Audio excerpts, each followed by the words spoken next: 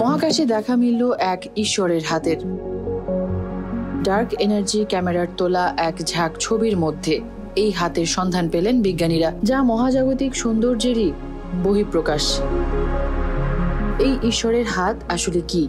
সহজে বললে, এটা আসলে জমাট বাঁধা, অপার্থিব, ধুলা ও মেঘের আস্তরণ। এটিকে গ্লোবিউল ধূমকেতুর অংশ মনে করা হয়।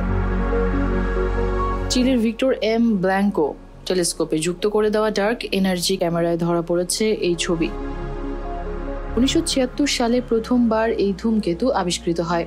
সেটাও দুর্ঘটনাক্রমে। ব্রিটেনের স্কমিট টেলিস্কোপে নিরীক্ষণ করার সময় আকস্মিক এটির দেখা পান বিজ্ঞানীরা।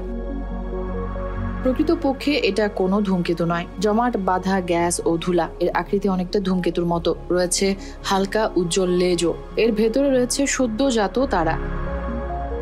কাছাকাছি থাকা নক্ষত্রগুলোর তেজস্ক্রিয়তার ধাক্কায় এগুলোর জন্ম। এরকম অনেক গ্লোবিউলি রয়েছে।